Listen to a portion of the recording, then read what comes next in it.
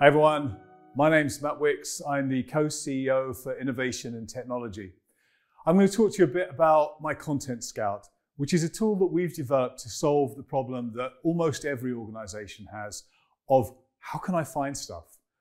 Often in an organization, you've got a legacy of documents, videos, audios, images, and you just want to be able to find stuff quickly, but it takes hours, or I know I had that somewhere, but I can't find it, or I've got to talk to John because he knows where this is.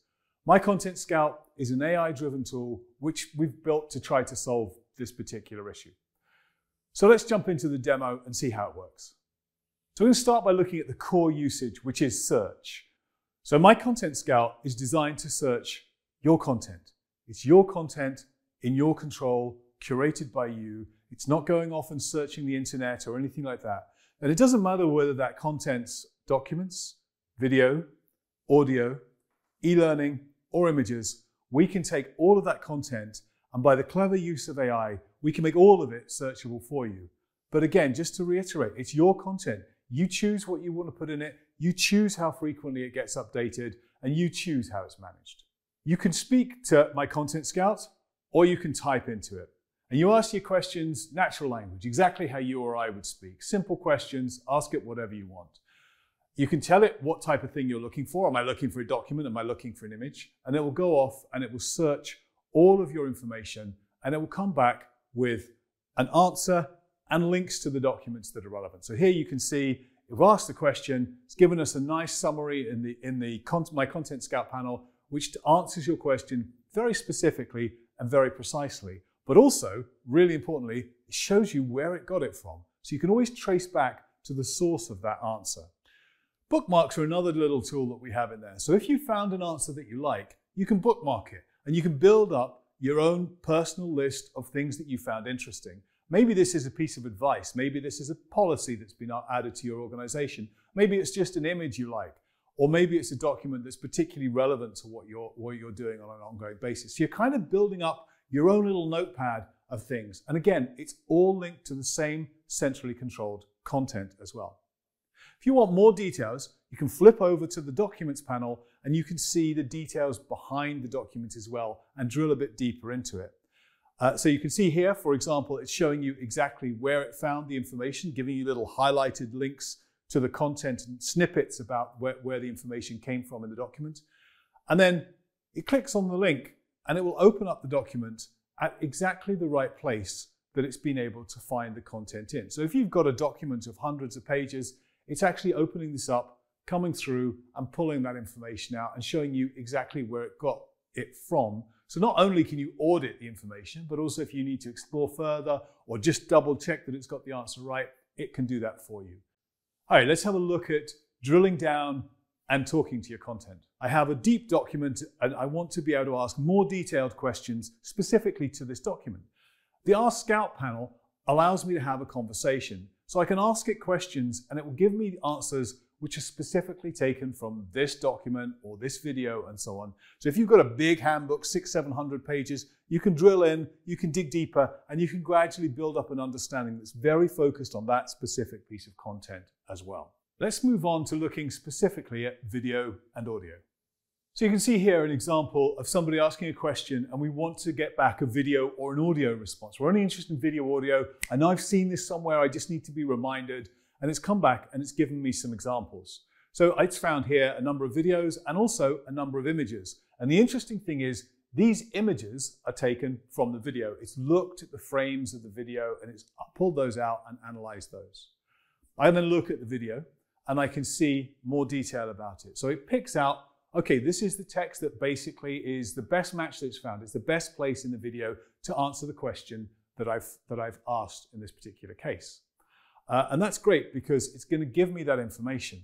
But it's also behind the scenes generated a full transcript. So this isn't somebody writing it up and importing it or anything like that. The AI has done that for me. It's taken the spoken word in the video and generated a transcript for me.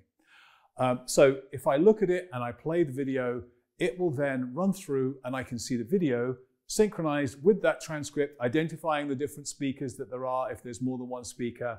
And you can see the time codes and I can click and it will jump to the right place in the video in that particular place as well. or I can just automatically scroll and follow the video through as it goes as well. Now, this is all well and good if the video has got somebody speaking and it's creating a transcript, but what happens if it hasn't?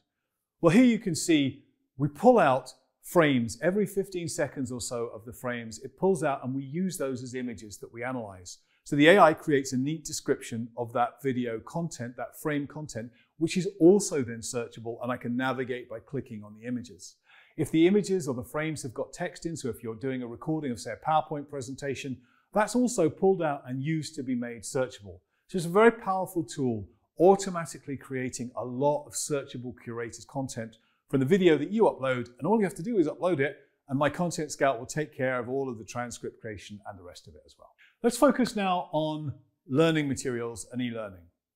So one of the problems of e-learnings in particular is that they're often buried in a huge, complicated LMS. So you might know that you did something six months, one year ago, but to go back to the LMS and search for it and find it, that's a real challenge, quite often in almost every LMS. So we solved that problem by bringing the e-learnings into my Content Scout and we look inside the zip file that contains the LMS and we interrogate it and we understand the words and we understand the images and we understand the videos and we use those to drive the answers that you can see. So I can bring in an e-learning and it will understand everything, allow me to answer the questions using the AI in the same way, make the video searchable, the images searchable, everything searchable. And that way I can come back to something six months down the line, I can find it easily, I can remind myself of it.